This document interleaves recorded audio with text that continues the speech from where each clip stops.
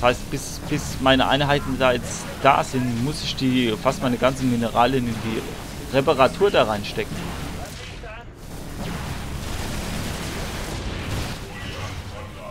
Und ich verliere meine ganzen Goliaths. Nein! Okay, den reparieren wir mit allem, was wir haben.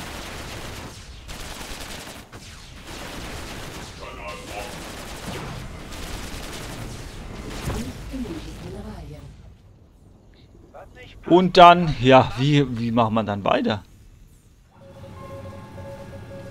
Auf alle Fälle haben wir hier noch einen Goliath, das heißt, ich habe momentan zwei. Du und deine Räder auf jeden Fall nicht zu viel versprochen.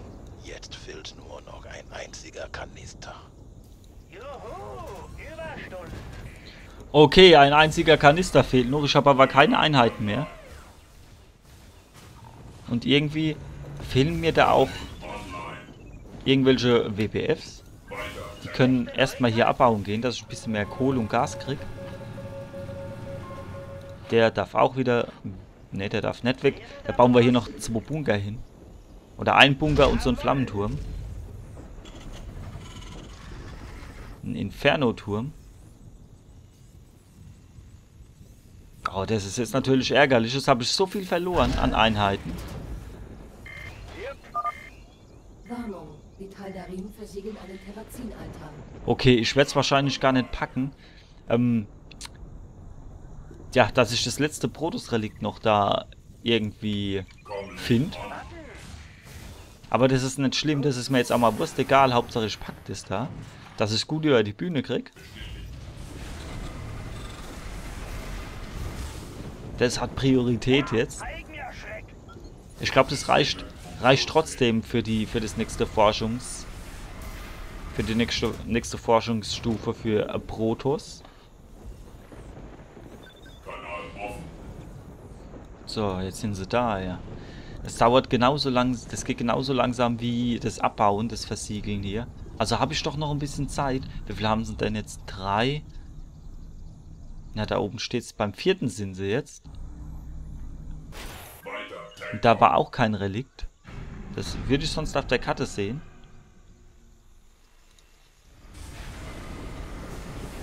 Okay, komm schon, komm schon. Wert fertiggestellt.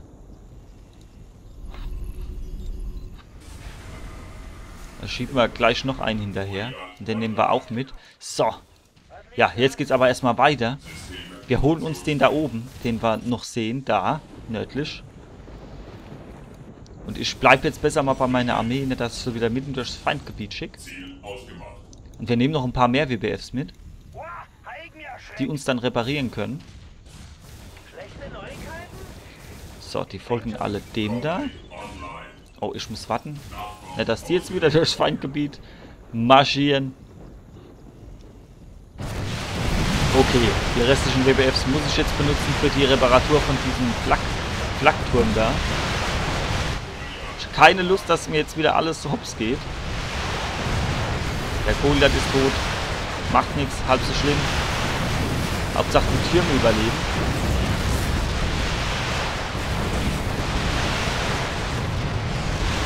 Okay. Der hat überlebt, der eine Turm. Weiter geht's mit Mineralien sammeln. Und wir marschieren hier weiter hoch nach Norden. So, da ist der letzte, den wir abbauen müssen. Ich hoffe, das funktioniert und es klappt. Ich habe auf jeden Fall tonnenweise WBFs dabei, um ja, das Ding eben abzubauen. So, fangen wir an. Und beschützen wir das Ding. Ich hoffe jetzt nicht, dass die von unten da hoch zu uns kommen. Die WBFs tun wir mal ein bisschen hinten platzieren. Diese anmaßenden Terraner müssen aufgehalten werden. Erschlagt sie alle.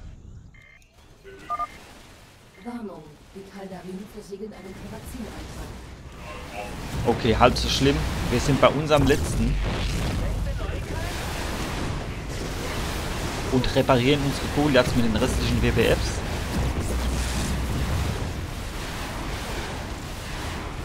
Ah, einer geht, einer geht auf jeden Fall kaputt, ja. Können wir nichts machen. Aber die restlichen haben überlebt. Und wir haben auch gleich, ja, haben auch gleich unseren Container da. Und der ist schon auf dem Weg zurück. Jetzt muss ich auch gucken, dass der hier nicht ähm, irgendwo in der Botanik rummarschiert, wo er gar nicht soll. Ja doch, der wird jetzt da mitten durch die Basis laufen. Der ist ein bisschen doof, echt. Wir müssen ihn aber hier rumschicken. Wir müssen die Taldarin irgendwie aufhalten. Sie haben schon fünf Altäre versiegelt. Okay, da ist wieder eine Basis, eine ziemlich große sogar. Und ich glaube, da ist es, das Artefakt auch, findet man da gar nicht.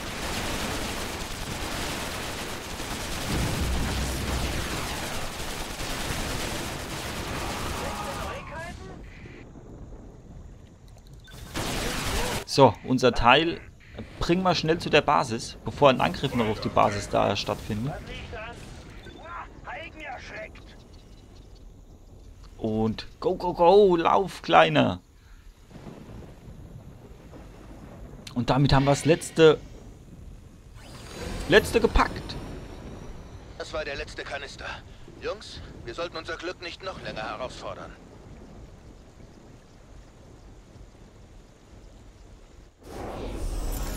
Zerstörungswut. Ja, Sieg. Gepackt haben wir Leider nicht mit, mit ähm, dem Protoss-Forschungs-Extra-Ziel. Schade drum. Aber äh, Credits haben wir auch jetzt wieder massig. Und von daher, die nächste Mission wird bestimmt nur leichter werden, wenn wir alles upgraden können. Und wir, fort, wir tun auch gleich fortfahren.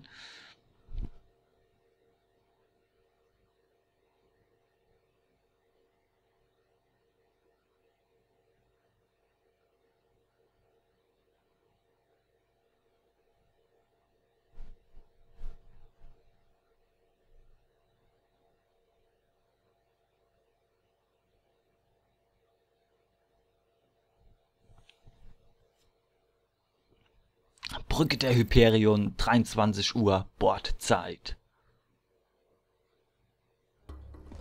Sir, ich habe eine kodierte Übertragung von einer Quelle aufgefangen, die ich nicht zurückverfolgen kann.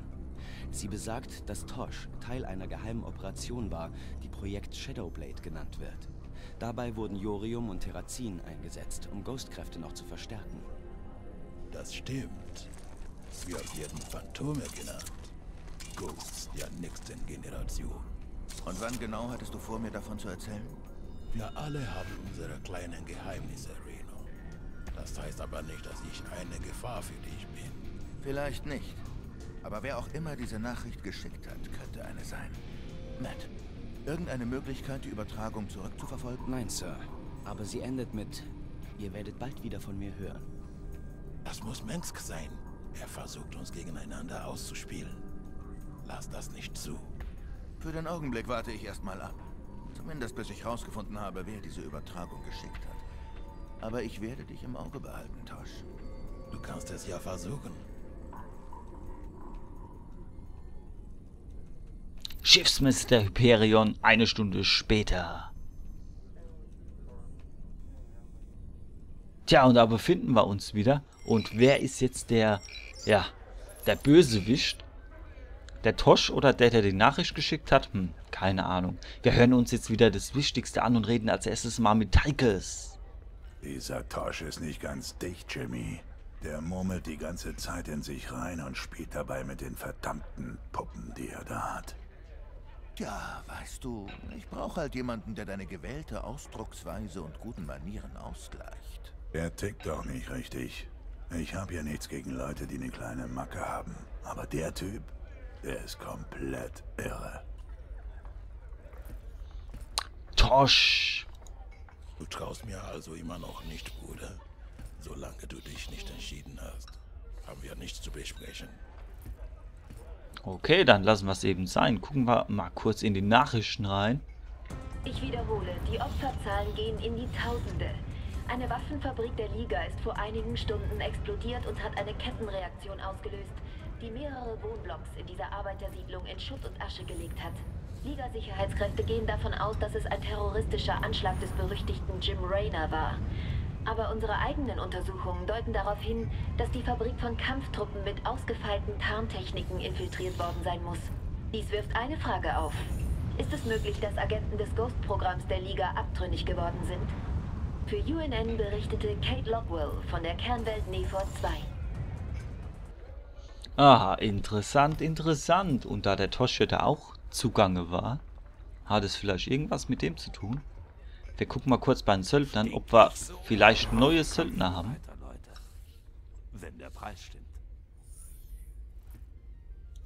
Die Spartan Company. Zwei Elite Goliaths, ey, super. Die haben 33% mehr Trefferpunkte und machen mehr Schaden. Ja, was kosten die? 40.000? Ich würde sagen, die nehmen wir, die nehmen wir einfach mal. Die heuern wir mal an. Und die Hammer Security sollen wir die auch nehmen. Da haben wir auch die noch zur Auswahl. Das sind die Marodeure. Ne, die lassen wir mal. Die Goliaths reichen jetzt. Äh, gehen wir zum Labor und gucken wir mal, was wir forschen können. Forschungskonsole. Auf jeden Fall Protoss müssten wir jetzt können. Ja, können wir natürlich. Wählen Sie ein Forschungsprojekt. Ultrakondensatoren, Waffenupgrades im Waffenlager und im Maschinendock erhöhen die Angriffsgeschwindigkeit um 5% und verursachen zusätzlichen Schaden. Badaboom. Vanadiumspanzerung, Panzerungsupgrades im Waffenlager machen das gleiche nur mit der Defensive. Okay. Hm, hm, hm, hm. Wir können momentan sowieso nur für... Hm, das ist ein bisschen schwer. Wir werden einfach uns für die defensive Variante entscheiden, entscheiden und das erforschen. Ja, da war es schon hier. Wir können noch mit Hansen reden. Ich habe die Tests an dem Terrazingas durchgeführt, um die du mich gebeten hast. Es hat auffallend ähnliche Eigenschaften wie Vespingas. Jedoch sind darin einige sehr exotische organische Zusätze enthalten. Irgendeine Ahnung, wozu es verwendet werden kann? Nun, es würde definitiv die Gehirnfunktion beeinflussen. Ich schätze, deshalb könnte es als Droge oder Aufputschmittel verwendet werden. Ah, Drogen, was? Ja, super.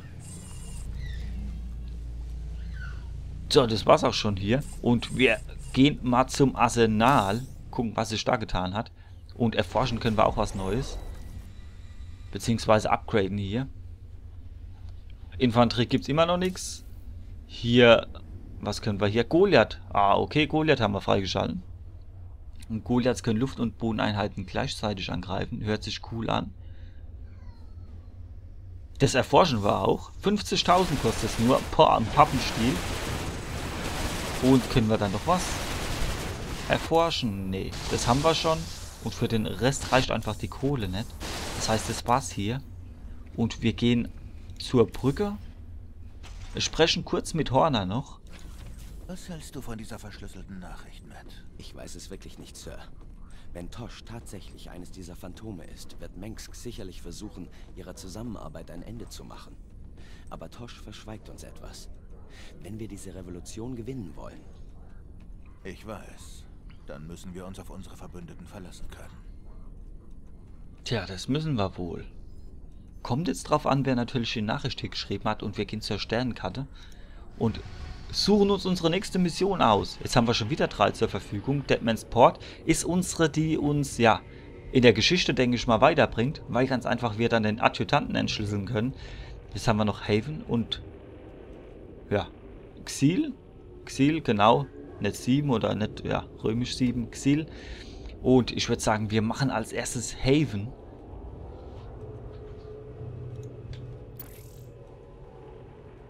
Beschützen Sie die Haven-Kolonie? haben eine Kolonie auf dem Planeten Haven errichtet. Eine ganze Weile lang ging alles gut, aber jetzt ist jeder Funkverkehr abgebrochen. Sie antworten auf keiner Frequenz mehr. Wir müssen dahin und sehen, was passiert ist. Vielleicht waren sie dem Zerg-Virus ausgesetzt. Außerdem befinden sie sich am Rande des Protoss-Raums. Ich mache mir Sorgen, dass etwas Schlimmes passiert ist. Okay, wir sind natürlich ein guter Mensch und wollen den armen Zivilisten natürlich helfen. Abgesehen davon gibt es da irgendwelche unbekannten Forschungsmöglichkeiten. Auch wieder Credits, deswegen entscheiden wir uns jetzt für Haven und starten das Ganze auch jetzt gleich.